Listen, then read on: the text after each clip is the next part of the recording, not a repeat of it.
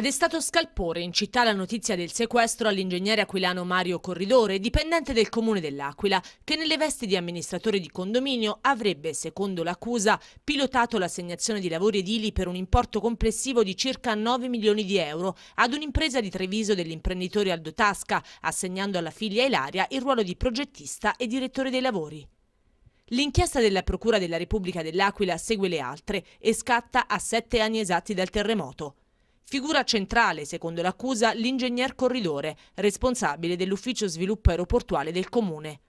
L'operazione, condotta sul campo dalla Guardia di Finanza dell'Aquila, ha portato ad una confisca di un valore di 264.000 euro. Gli indagati sono tre, oltre a Corridore anche la figlia e il rappresentante legale dell'impresa, l'imprenditore Aldo Tasca. Secondo una prima ricostruzione dei fatti, l'inchiesta sarebbe nata sulla scorta di un'indagine precedente che vede lo stesso corridore indagato con altre quattro persone per truffa per il conseguimento di erogazioni pubbliche e falsità ideologica in atto pubblico. La finanza si sarebbe mossa attraverso lo strumento delle intercettazioni per approfondire la vicenda e formulare le nuove accuse che ovviamente andranno tutte verificate. Le ipotesi di reato, comunque, sono truffa ai danni dello Stato e corruzione per un atto contrario ai doveri di ufficio. Come spiega una nota delle Fiamme Gialle, è chiaramente emerso come il pubblico funzionario, in totale spregio dei propri obblighi e doveri al solo fine di perseguire interessi personali e familiari, abbia posto in essere una serie di illeciti comportamenti che gli hanno consentito di ottenere indebiti vantaggi patrimoniali. Vantaggi quantificati in 214.000 euro circa, corrispondenti ai compensi professionali percepiti dalla figlia, e in circa 50.000 euro, corrispondenti ad un forte sconto extracontratto, concesso alla ditta, secondo l'accusa aggiudicataria dei lavori, quale contropartita per l'assegnazione dell'appalto, in ordine all'edificazione di alcune villetti a schiera nella frazione aquilana di Pianola, di proprietà di una società immobiliare riconducibile alla figlia del pubblico dipendente.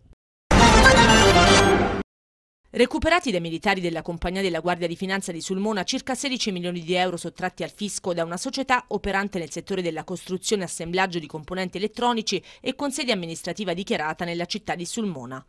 Le fiamme gialle, a seguito di un'articolata e complessa verifica fiscale, hanno constatato che la società, che non aveva presentato le dichiarazioni sia dei redditi che dell'IVA per gli anni di imposta dal 2009 al 2012, aveva in realtà operato ed effettuato operazioni commerciali, concessioni di beni e prestazioni di servizi, conseguendo profitti per circa 16 milioni di euro completamente non dichiarati ed occultati al fisco, evadendo in maniera totale le imposte in materia di imposizione diretta. Pur in presenza di una contabilità carente e frammentaria, i finanziari sono riusciti a ricostruire l'intero ciclo delle operazioni di gestione delle eccezioni di beni e prestazioni di servizi eseguite sul territorio provinciale, regionale e nazionale, determinando l'effettivo giro d'affari realizzato dall'impresa, nei confronti della quale sono stati constatati ricavi non dichiarati per oltre 15 milioni di euro. I due amministratori della società sono stati denunciati all'autorità giudiziaria per violazioni in materia penale tributaria. La Procura della Repubblica di Sulmona, condividendo le ipotesi investigative delle Fiamme Gialle di Sulmona, ha richiesto al GIP del locale tribunale la misura cautelare reale sia per gli immobili di proprietà degli amministratori ubicati nella provincia dell'Aquila,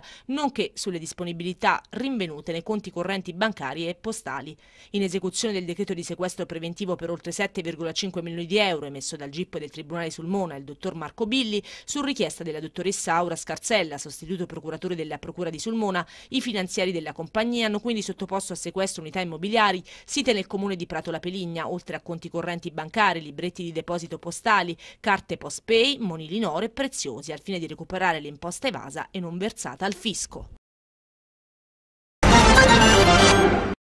Ammonta ad oltre 3 miliardi la somma stanziata fino ad oggi per la rinascita dei centri storici nel cosiddetto cratere sismico, dove sono stati approvati ben 47 piani di ricostruzione sui 55 previsti. È il quadro che emerge dai dati forniti dal responsabile dell'ufficio per la ricostruzione del cratere Paolo Esposito, che ha parlato di 107 progetti approvati per il ripristino di opere pubbliche, mentre fuori cratere sono 637 i cantieri già attivi per la riparazione degli immobili danneggiati dal sisma del 2009. Sulla ricostruzione privata siamo a 1 miliardo e 4 di impegnato dal 2009 a oggi, intendo cratere e fuori cratere, e stimiamo di arrivare a una quota di circa 4 miliardi, quindi siamo a un 30% del percorso finanziario. Per quello che riguarda le case, su circa 26-27 mila abitazioni inagibili tra cratere e fuori cratere siamo a oltre 5 mila, quindi a un 20% sul dato abitazioni. Dati e numeri che saranno disponibili nel nuovo sito dell'USRC che verrà inaugurato entro il prossimo mese di giugno e che, oltre a contenere informazioni relative a cantieri ed opere, strizzerà l'occhio ai nuovi social media, sempre più spesso utilizzati per reperire informazioni. La frontiera di comunicazione oggi più invasiva, Twitter, LinkedIn, sbarcheremo anche su altri, ovviamente con le dovute cautele perché sono strumenti che vanno maneggiati quando si danno informazioni così delicate con una certa attenzione.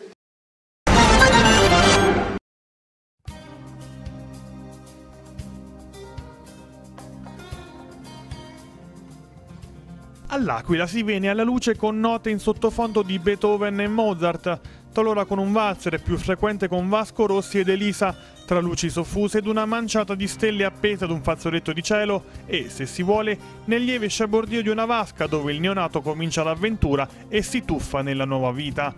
nel capoluogo, spiegano dalla ASL, dopo il trasferimento del dicembre 2015 del reparto di ostetricia nella nuova casa completamente ristrutturata al primo piano del detta chirurgico dell'ospedale, gestanti e bebè, non solo per il parto in acqua, sono immersi in un'atmosfera unica che rilassa le partorienti durante il travaglio fino ad allentarne il più possibile il fisiologico dolore. Con la rioccupazione degli spazi originari dopo il sisma, nel giro di pochi mesi il reparto è diventato un ambiente davvero speciale, spiegano, all'insegna del massimo rilassamento della donna e della piena fruizione delle sensazioni che accompagnano un evento così importante, con 355 parti da gennaio a oggi, nella quasi totalità portate a compimento in questo magico set, dove l'emozione dell'evento, a cui partecipano appieno ostetriche e altri operatori, è dilatata al meglio dalle atmosfere, arredi e colori pressoché esclusivi, a partire dal lettino per il parto in acqua,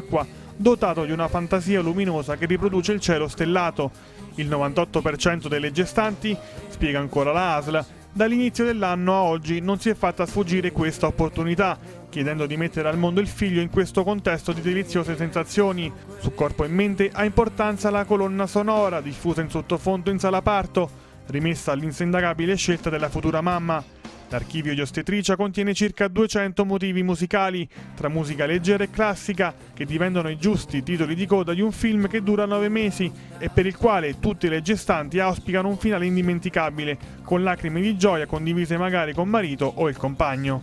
I parti in acqua, che l'Aquila ha introdotto per prima in regione poco meno di due anni fa, restano un'opzione aggiuntiva e di nicchia, scelta in media da 5 donne al mese.